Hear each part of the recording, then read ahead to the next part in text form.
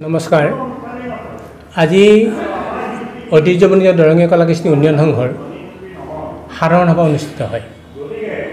দৰঙৰ দৰং আৰু ওদালগুৰি দুখন জিলাৰ বহুখিনি শিল্পী সাধাৰণ লোক সাংবাদিক সাহিত্যিক ইয়াত উপস্থিত থাকে।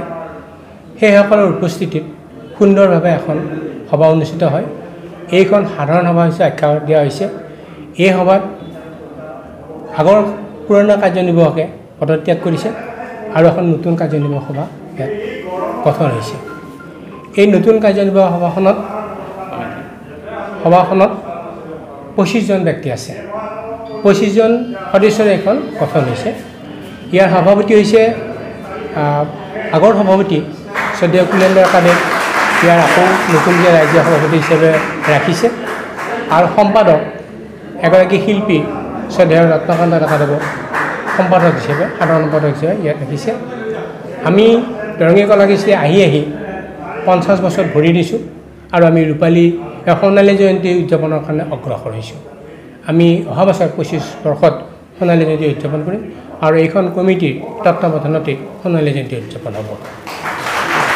প্ৰথমে আপোনালোকক মই শ্ৰদ্ধা জনাইছোঁ দৰঙী কলাকৃষ্টি উন্নয়ন সংঘৰ প্ৰায় মই পঁয়ত্ৰিছ বছৰ কাৰ্যনিৰ্বাহত আছোঁ এজন বিষয়ববীয়া হিচাপে। যেতিয়াৰ পৰা আহিছিলোঁ মোক সম্পাদকৰ পদৰ কাৰণে মোক কেইবাবাৰো কৰিছিল এ, প্ৰস্তাৱ আহিছিল কিন্তু ইয়াৰ কলাকৃষ্টি সম্পাদক এজনৰ যিটো দায়িত্ব যিখিনি হেৰি কৰ্তব্য সেইখিনিৰ কাৰণে মই ভয় কৰিছিলোঁ। মই ইয়াৰ ছবিটো সম্পূৰ্ণ জানো। তথাপি পাকা পকাৰে গৈ গৈ এইবাৰ মোৰ ওপৰত আস্থা ৰাখি ৰাইজে আমাৰ দৰঙী কলাকৃষ্টিৰ উন্নয়ন সংঘৰ সকলো বিষয়ববীয়াই আৰু মোৰো এগেইনষ্টত যিখিনি প্ৰস্তাৱ আহিছিল। তেওঁলোকক মোক সমৰ্থন কৰি মোৰ ওপৰত আস্থা ৰাখি মোক এই সম্পাদকৰ দায়িত্ব দিয়াৰ কাৰণে আটাইলোকে মই ধন্যবাদ জ্ঞাপন কৰিছোঁ কিন্তু মোৰ ব্যক্তিগতভাৱে মই তলত থাকি মই এজন কৰ্মী হিচাপে কাম কৰি থাকি কাম কৰাটো মই বিচাৰিছিলোঁ। কিন্তু এই দায়িত্বভাৰ লৈ মোৰ অনুভৱ মোৰ অলপ ভয় লাগিছে মোক বহুতেই ভয় লাগিছে। কাৰণ পঁয়ত্ৰিছ বছৰ অভিজ্ঞতা পৰা মই জানো সম্পাদক দলৰ দায়িত্ব আৰু কৰ্তব্য বা কৰ্মনিষ্ঠা কেনেকুৱা হ'ব লাগে। সেইখিনি যোগ্যতা মোৰ আছে নাই মই নিজক নিজে প্ৰশ্ন কৰিছোঁ।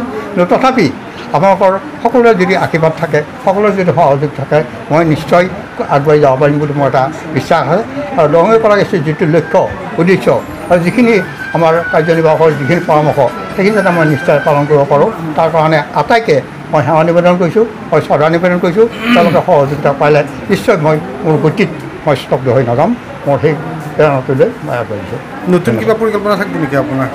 নতুন পৰিকল্পনা আমাৰ যিবিলাক এতিয়াও লুপ্ত হৈ আছে কৃষ্টি লোককৃষ্টি এতিয়াও লুপ্ত হৈ আছে কিন্তু আমাৰ নাম তালিকাত আছে। যেনে আমাৰ সাগৰ মথন দধি মথন এটা সময়ত আমি সাগৰ মথন দধি মথন নিজেই উলিয়াই আনিছিলোঁ। দৰঙীয় কলাকৃষ্টিৰ যিটো উদ্দেশ্য যে লুপ্তপ্ৰায় কৃষ্টিসমূহ পুনৰ উদ্ধাৰ কৰি প্ৰচাৰ প্ৰসাৰত ব্ৰতী হ'ব লাগে। সেই কথাত আমি আৰম্ভণিকে নিয়োজিত হৈ আছোঁ।